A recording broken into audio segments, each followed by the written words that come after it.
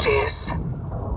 You hold the design of a thousand generations, all planned out by our ancestors. And with you out of the way, the Hive will finally have a future. Mother. You insolent child. Crimson Dawn has turned you against your own. They will tear our clan apart and leave you the scraps. Our future will end with me. No, you. You started us down this path, chaining our future to the Empire. I serve no one, and you leave me no choice. The Origin Strand.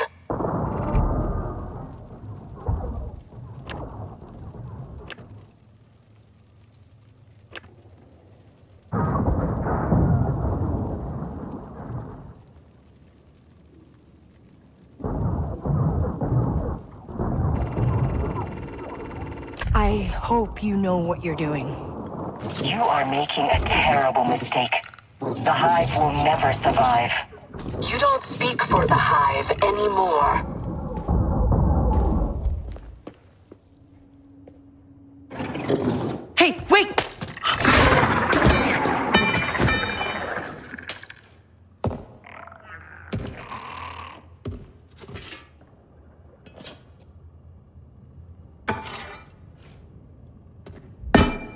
I speak for the Hive.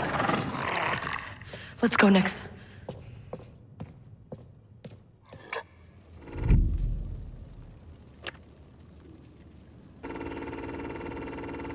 I'm sorry, Krisk.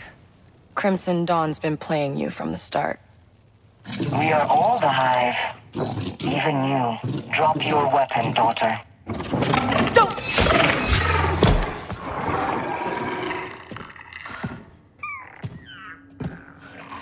Let's go next.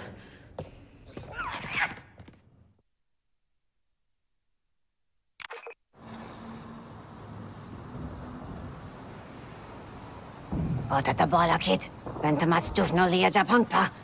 Nichu jatroi, nogavente hiskrabavani. Loa sa titsakula. Chi tingaji bolastut. Look, I know things got out of hand. I didn't sign up for an execution. And how did you think it was going to end? This is what it takes. It doesn't matter, does it?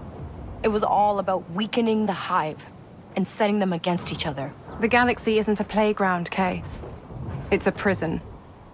And if we want freedom, we have to be prepared to make some tough choices. And that's what, to, to free people like me? Or just hand you the keys? I used to be like you, but my eyes were open to the truth of who pulls the strings of the galaxy. You might think today didn't matter, but when the war is truly over, you'll realize the cage has been broken, and you'll finally see what real freedom feels like. Lady Qi'ra, the Vermilion is ready for you. You're valuable to the fight, Kay. You just don't see it yet. Take care out there. And good luck.